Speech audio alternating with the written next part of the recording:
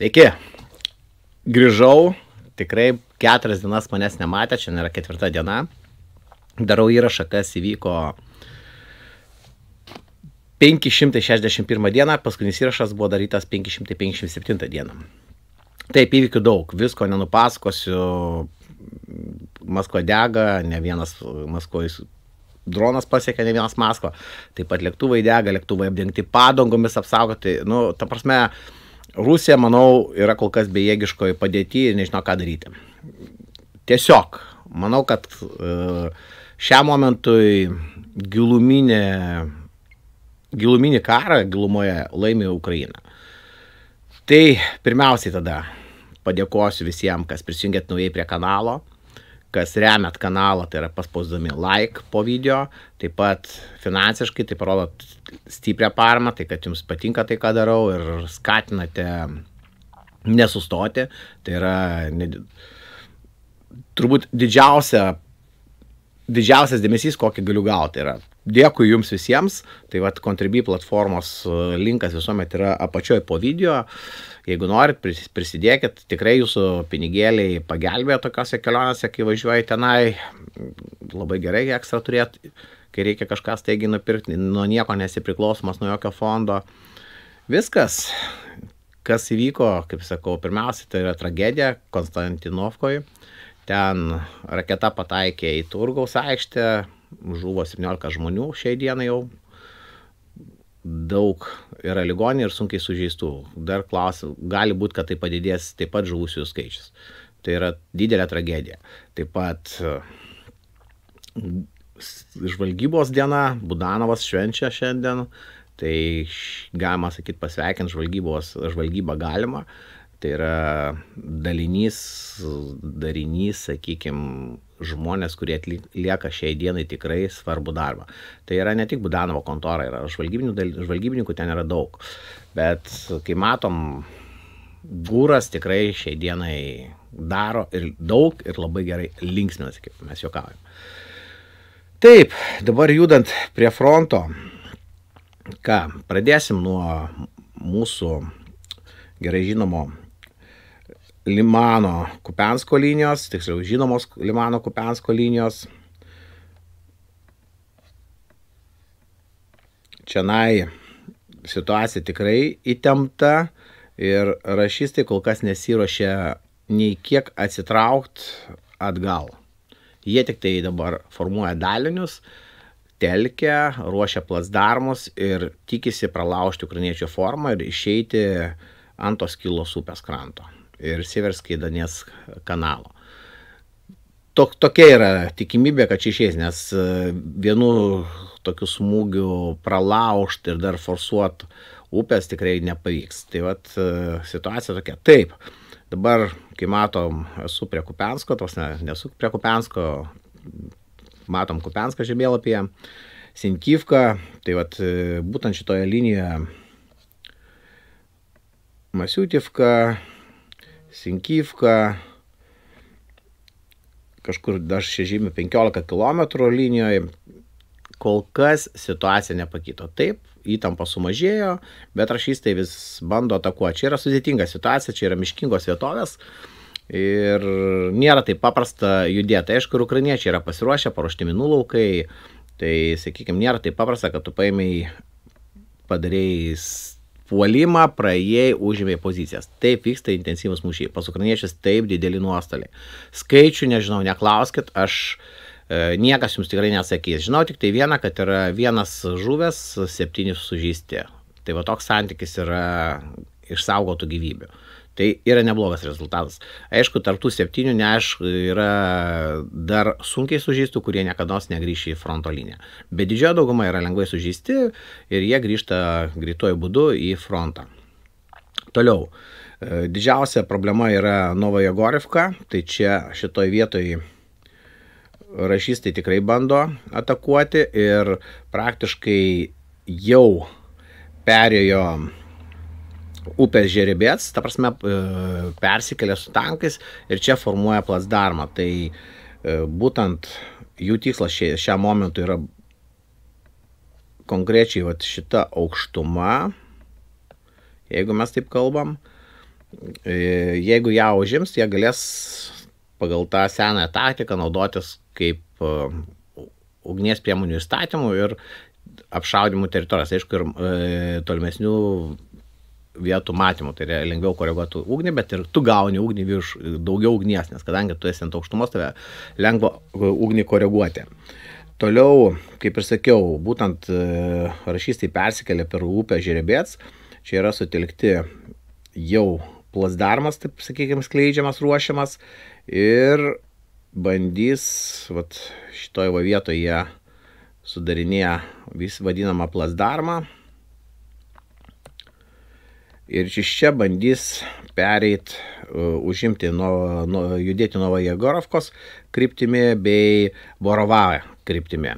Tai čia ta pati kryptis, kurią prieš du mėnesius buvo pralaužę, užėmė jie gilį apie 5 km, bet ukrainiečiai puikiai susitvarkė ir juos atstumė atgal į išeitinės pozicijas. Tai ką mes dabar turime.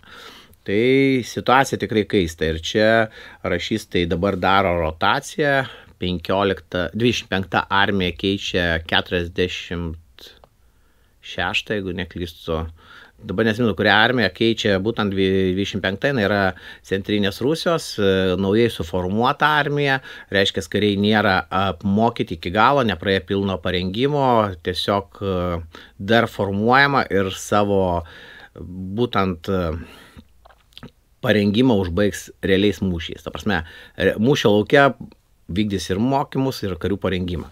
Čia, nu, nusimato situacija tikrai įdomi, bet kadangi šitoje krypti kariai buvo jau e, prieš tai būsios armijos apšylę, apmokyti, jie permetami ten, kur dabar didžiausia problema, tai yra į pietus, Orechovo ir Berdensko kryptimi, Melitopolio, galbūt, sakykim, Berdensko kryptims uh, pastiprinti, tai yra ukrainiečių polimui mažinti toje kryptyje. Toliau mes turime pažangą, nedidelę pažangą. Čia, kaip ir buvau minėjęs, jeigu atsimenat, Serebrianska Lisnyčystva šitame ruože ukrainiečiai šiek tiek buvo praradę teritorijų. Aišku, šitą rajoną gina Azovas kažkurį sektorių ir čia Azovo kariai, būtent tie Azovo kariai, nes mes girdime Azovas, Azovas, Azovas. Yra ZSU, tai yra sausumos pajėgose, kur vadovavo Bileckis, tai yra Azovo įkūrėjas, galbūt e, nuo 14 metų jisai vadovavo Azovui, jis yra su ZSU ir trečiaja brigada, tai yra prie Bahmuto. Čia yra Azovas, tas, kuris buvo Mariupolėje. Tai būtent e, čia tiems mūšiams dabar ir vadovauja didžioji dauguma vadų, kurie buvo iš, išlaisvinti iš Mariupolio, iš, iškeisti, kai pasidavė į nelaisvę. Tiek pats Redis ir kiti. Ne, kaip ir minėjau, 557 apžvalgoje buvau susitikęs su vieno bataliono vadu, kuris taip pat buvo ištrauktas iš Mariupolio, iškeistas. E, jam viena organizacija pažadėjo, kai sakė, man reikia bent vieno dar termo, drono su termokamera, pažadėjo, padarys, sakė, žiūrėsim, stebim, ar įvykdys pažadus. Jeigu įvykdys, neturiu pretenzijų labdaros organizacijom. Apie tai dar pakalbėsim, šiek tiek yra ir Ukrainoje pokyčių, būtent aš pasakysiu su mūsų penktąją kolona, vatnykais, Tai yra generolų Tutkum galima sėti, nes jis, jeigu neklystų, baigęs Rezanės mokyklą, o Ukrainoje buvo areštuotas saugumo karininkas, generolas, kuris baigęs tą pačią mokyklą. Tai šiek tiek vėliau ir trumpai apžvelgsim. Taip, judam toliau, Bilohirovka įtampa didelė, bet kol kas e, čia situacija stabiliai kontroliuojama, aš taip pasakysiu, be pakitimų. Toliau mes turim šiek tiek pakitimų būtent Klišievkos kryptyje. Čia ukrainiečiai net ir Deep State Mapas jau parodo, kad e, pajudėjo į priekį. Aš dabar grįšiu iš atgal. Reiktų išdidinti.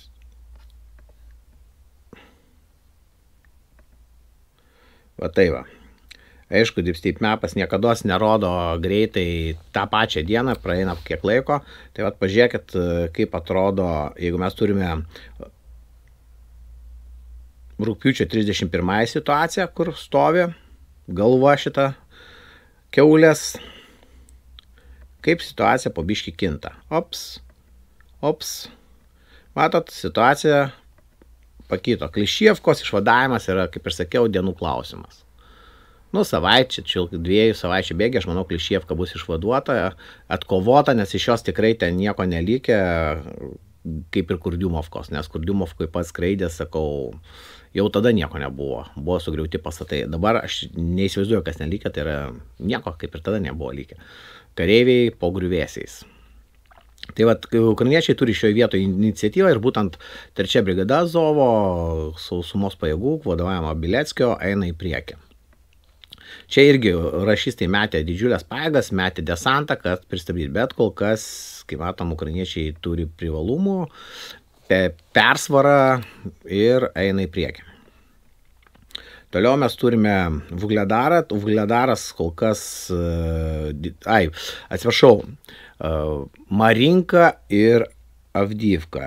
Ten teko nakvoti, nakvoti aš nesakysiu, kurioje vietoje, va čia šitam kažkur 10 km nuo Avdyvkos kažkur tai. Nu, realiai tarp Avdyvkos ir Marinkos. Tikrai galiu pasakyti, buvo ram, ramus sutikimas. Ta vakara buvo tikra ramybė, tyla. Išvada viena, kad pradėjo trūkti, galima daryti išvadą, kad pradėjo trūkti amunicijos iš rašystinės pusės. Tai čia žiūrėsim. Kol kas e, didelių proveržių nėra šitoje vietoje. Aišku, viskas vyksta daugiau per Vamaisko kryptyje ir, ir Vodenaja. Bet čia, sakau, kol kas labiau ukrainiečiai gynybai stovi, kaip ir Marinkos kryptie. Marinkoje ten yra šiek tiek praradimų, jeigu aš neklystu, gal Dipsip Mapas jau parodys, arba gavęs neteisingą informaciją, galim pasižiūrėti.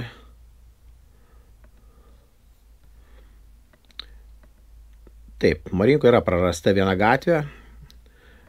Matot, neapgavo, sakykime, jie priartėjo prie vandens e, užtvankos ir šiek tiek ten, keli šimtai metrų iki 500 metrų proveržis.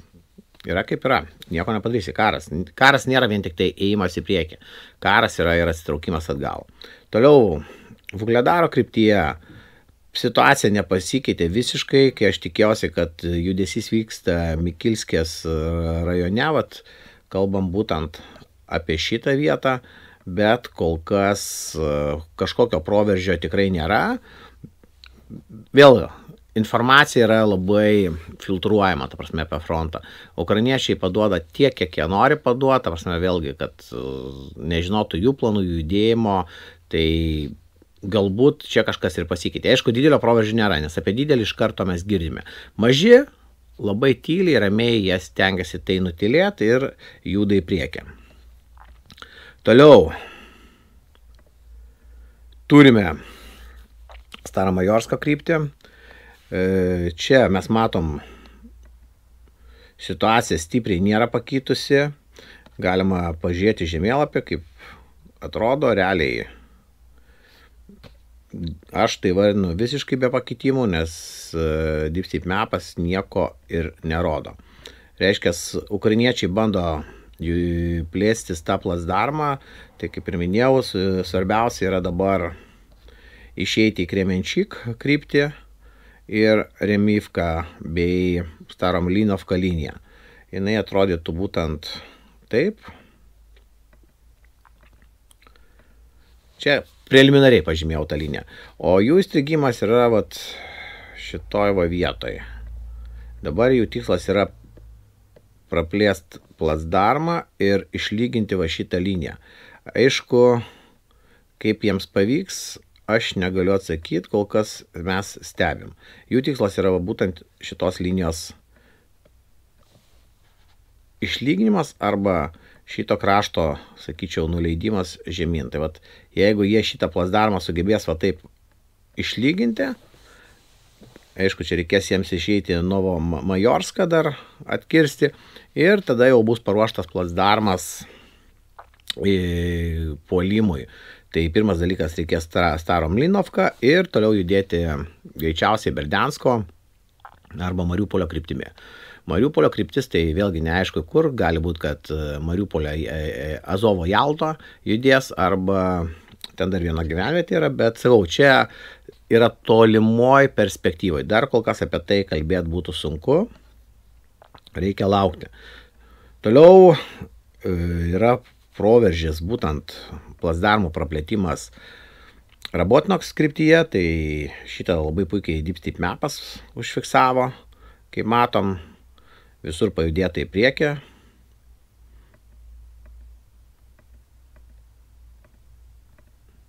Tai yra būtent nu, Prokopivkos kryptim, Verbavoje kryptim jau rodo, tai reiškia, jau mūšiai vyksta tikrai šitoje kryptyje ir plasdarmas po biški ruošiamas išplėtimui ir tada jau, kaip ir minėjau, judėjimo kryptis čia nusimato, norim, nenorim, Tokmako linkme. Aišku, vėl šiek tiek ukrainiečiai strigo šitoje vietoje, galiu vertinti iš savo požiūrio, mano nuomonė tiksliau, nes jie turėtų įdėti čia, perkris šitą geležinkelio liniją, kelią Takmako ir tada aš manyčiau, kad šiek tiek pajudės ir Hersono kryptis, kur greičiausiai ruošiamas forsavimas Dniepro. Tai kartoju, bus sudėtinga operacija, nes tokios upės po antro pasaulinio karo kovos veiksmuose dar niekas neforsavė. Tai čia bus turbūt įrašyta, jeigu operacija būtent į istorijos vadovėlius. Pažiūrėsim.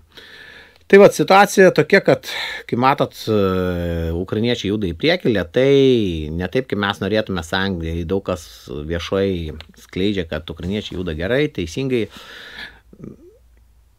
Su tuo aš negaliu sutikti vis dėlto. Galbūt sakysit, idiotas esu dar kažkas, nu, čia jūsų ir nuomonė, bet e, vis dėlto karas e, šiai dienai yra toksai, kitas karas bus kitoks, nėra dviejų vienodų karų. Bet išbandytos strategijos, taktikos, jos nesikeičia realiai. Kai dabar matom, kaip patys ukrainiečiai jau sako, mes kariavom pirmą ir dalinai antrą pasaulinį karą.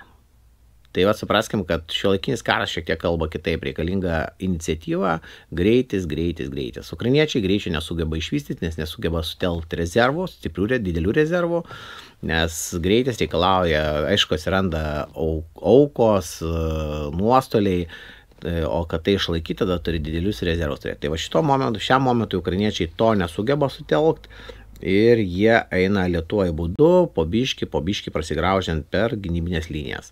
Klausimas, kas geriau, greitas ar lėtas, sunku atsakyti. Reiktų pabandyti ir tada mes galėtume atsakyti, nes e, nuostoliai būtent greitajam yra pirmosios fazės dalyje labai dideli, paskui jie labai greitai krinta. Parsigraužimas yra tas, kad nuostoliai daugmaž visuomet panašus. Tai vad, jeigu žinot karo, iki karo pabaigos arba operacijos pabaigos, manau, kad būtent greitas prislaužimas duotų mažų, maž, bendroji suma nuostoliai būtų mažesni, bet būtų šokas gauti pirmom, antrom dienom tą smūgį. Aš manau, kad jie ir įsigando, būt, kai pradėjo šitą operaciją, būtent robotinos kryptie, 47 brigada bandė tai padaryti, gavo nuostolius, įsigando ir sustojo.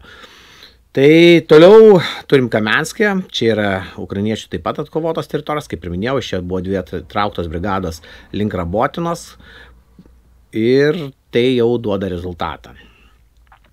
Toliau žiūrint žemyn, tai yra Dniepro upės deltoje, ten daug informacijos nėra, bet mūšiai vyksta. Kaip sakoma, Niekas nepasikeitė fronto linijoje, bet situacija kontroliuojama, ruošiami plasdarmai, kaip ir minėjau, net keli plasdarmai yra užnešti, prie Antonovkos tilto yra užneštas plasdarmas ir šiek tiek e, aukščiau tarp Antonovkos ir Kazatski lagirį, kur anksčiau buvo plasdarmas padarytas, bet ukrainiečiai iš ten atsitraukė ir dabar yra dar kitas plasdarmas, būtent žemupyje. Tai aš įsivaizduoju, kad vienoje iš to, šitų krypčių bus ruošiamos perkelos. Nu, čia yra mano nuomonė, aš to negaliu garantuoti, kad bus taip ar kitaip. Tai tiek šiandien apie fronto liniją. Trumpai, tikrai esu pavargęs, noriu eiti pamiegot.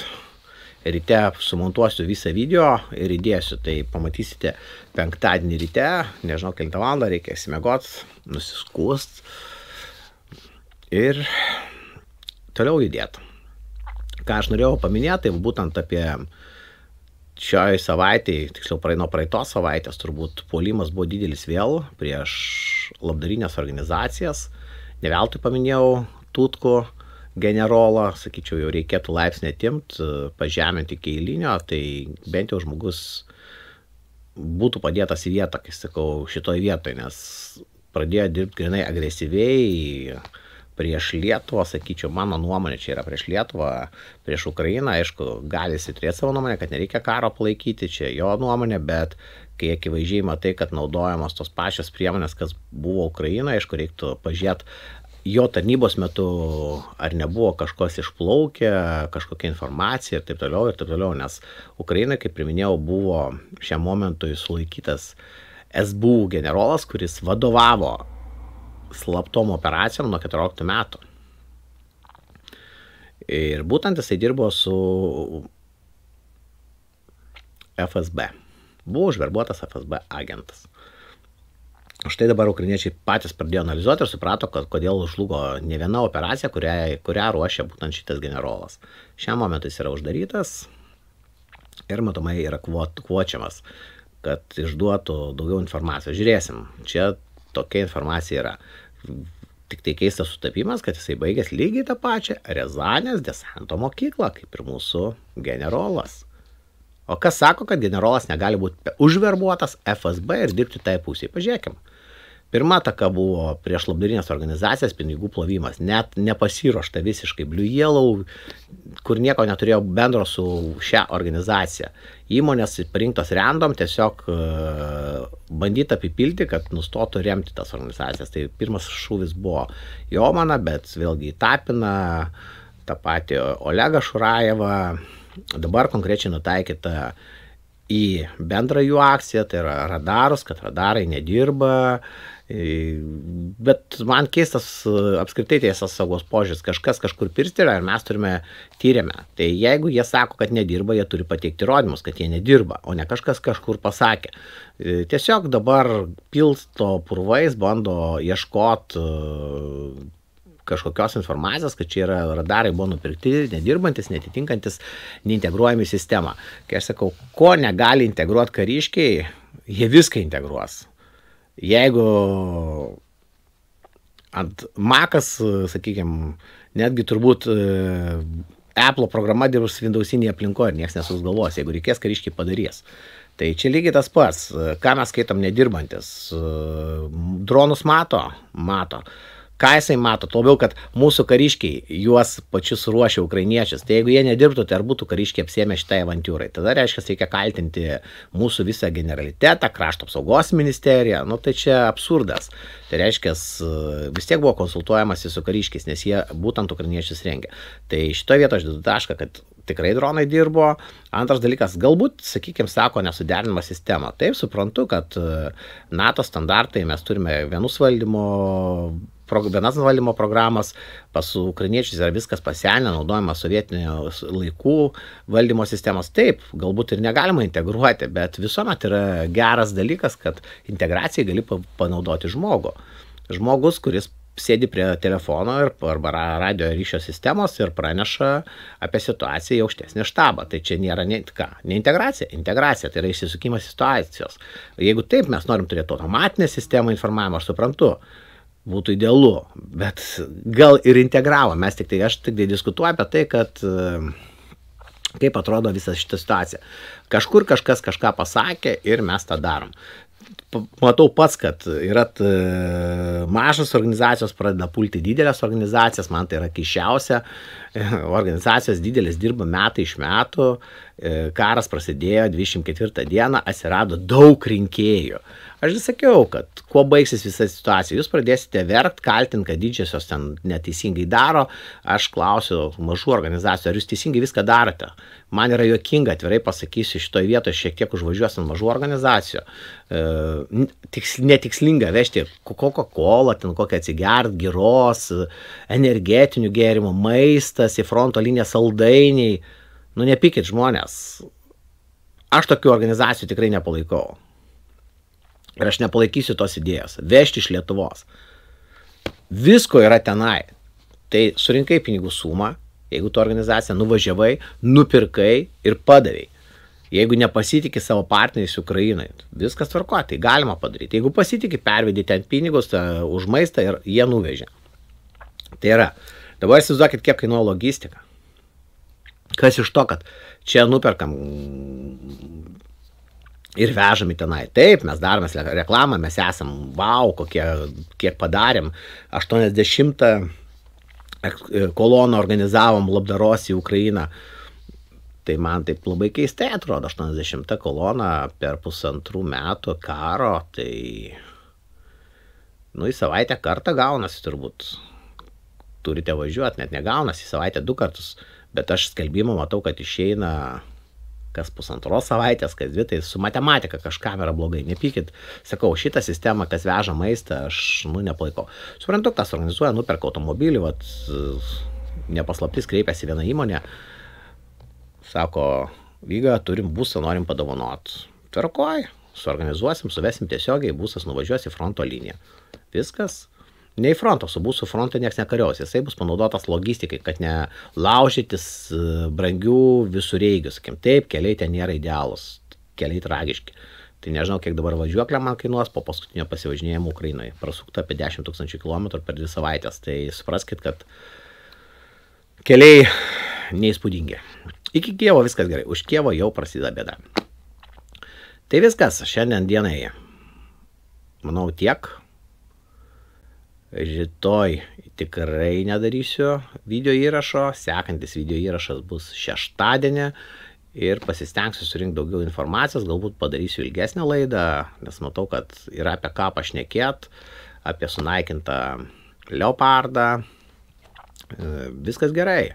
Sunaikino, rusai džiaugiasi, ukrainiečiai patvirtino, e, bet vienas pliusas - ekipažas sveikas ir gyvas. Tam vakariečiai ir dirba, kad išsaugoti žmonės. Metalą galima atstatyti, žmonių ne.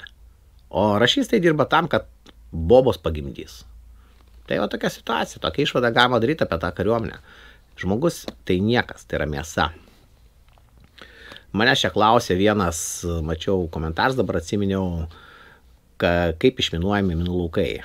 Aš esu baigęs karo inžineriją, Lietuvos karo akademijai, būtent tais dalykais domėjomės, nu, domėjomės realiai mokėmės, aišku, nevykdėm išminavimo darbų, žinom, kaip užminuojama, kaip išminuojama. Karininkas neprivalo eiti išminuoti, karininkas yra menedžeris, kuris organizuoja visą tai. Ukrainai perės buvo daromas, kiek man teko girdėti, kalbėti rankiniu būdu. Naktį išeina išminuotojai, ir su minų ieškikliais, šipais ieško minų ir taip išvalo 10 metrų perėję pločio į gilį. Per naktį realiai išvalomas yra kilometras. Komanda išvaloma kilometrą. Aišku, ten dirba priedangos komandos, kurios dengia ugnimi, dūmais užmėto, jeigu reikia priešą, bet ir priešas dirba tuo klausimu. Išstato snaiperius, kurie koreguoja artileriją, taip pat snaiperiai vykdo medžioklę mūsų inžinierių, sakykim, ukrainiečių inžinierių. Tarp inžinierių yra žuvusių labai daug žmonių. Tokia situacija, tokia realybė, bet laukai buvo valomi būtent rankiniu būdu. Tuo labiau, kad vat, čia už manęs vėliava yra nacionalinės gvardijos dalinio, ketvirtos, ketvirtos brigados, rubėž, būtent inžinieriai dirba. Ten dabar mačiau, vėlgi ieško kuprinių inžinierių, yra tikrai gerų dalykų, Ukrainai sukurta nemažai. Man patiko tą kuprinę pačią inžinieriaus išminuotą čiupinėjau, jinai sukomplektuota, kai tik Ženė draugas renka pinigus, ten vėlgi reiks padėti turim idėją, kaip pagelbėti šito klausimo. Padėsim, jeigu reikės. Pirmiausiai, reikia dabar daryti tą projektą, kurį darau. Antras klausimas buvo apie tunelius. Būtent fronto linijoje atsakau, aš jų nemačiau. Lygiai tas pats buvo Hersono operacijoje dešiniajam krante, kai buvo sakoma, kad rašystai yra įsikasę gerus bunkerius, priedangas ir viskas yra betonė betonio užbetonuotos pozicijos, kai pats atvažiavau, nei vienos neradau tokios pozicijos. Taip, jie buvo panaudoję šulinio žiedus, sakykim, sistemas e, betoninės, bet nebuvo taip, kad apie ką buvo kalbama. Tai įsivaizduokit, ką reiškia padaryti, išbetonuoti fronto linijoje pozicijas. Jeigu aš neklystu, vien tik tai Dzotas Vokietijoje, būtent Lenkijoje, kur buvo statoma gynybinė linija, sueidavo apie 60 tūkstančių kubinių metrų betono, neskaitant, kad e, apie tonom, ten tūkstančiais tonų eidavo armatūros. Betonas nieko nereiškia, betoną turi suarmuoti, tai reiškia, kiek yra metalo reikalinga, kiek metalo reikalinga ir taip toliau. Tai, sakykime, aš apie betoninės pozicijas labai abejoju, kad jos yra įrengtos, gal viena kita yra, taip sutinku. Ta, kur yra svarbesnė. Toliau, požeminiai tuneliai, aš juos mačiau realiai Černobaevkoje, tai nėra tuneliai. Tai ta prasme, iškasti apkasai, uždėtos betoninės plokštės ir užpiltos žemės. Ta, tai, kad jie galėtų per, pereiti nematomai tipo, bet čia nėra tie tuneliai, apie kuriuos įsivaizduot, kad buvo naudoti Vietkongo kare. Vietname Vietkongiečiai, kur naudojo perimams ir taip toliau. Čia yra tiesiog padaryti pe, perdengtos perdengtos tranšėjos, aš taip įsivaizduočiau, ir visa tai baig, baigsis, nes ten tunelių jie tikrai nesugebėtų iškasti, kiek reikia laiko ir visa kita. Tai yra tiesiog technika iškasė tranšėjas, jas uždengė ir apipylė žemę. Tai va tai aš įsivaizduoju, kad tai yra tuneliai. Atkovos, tikrai nuvažiuosiu, pafilmuosiu ir parodysiu, kaip tai atrodo. Tikrai nesudėtinga, nes tam tenai būnu dažnai toj pusėje. Tai tiek šiandieną, kaip ir sakiau, susimatysim šeštadienį, nelaukite rytoj reportažą, ne, nedarysiu, nes nelabai bus apie ką daug pašnekėti. Tai dar kartą dėkoju visiems, kas nusprendėt prisijungti prie kanalo, šia būtent šiandien, kas jau esat pastovų stebėtojai, kas e, remet būtent laikais, tai yra teisingai darot. Aišku, dar galėtumėt pa šėrint per socialinius tinklus, rekomenduoti draugams, e, tai dar labiau paskatintų matomumą ir penktos kolonos pykti, tai ką mes ir darom informaciniam kare. Taip pat, jeigu nu, vertinat tai, ką darau, galite paremti per Contribui platformą. Dėkui, iki šeštadienio.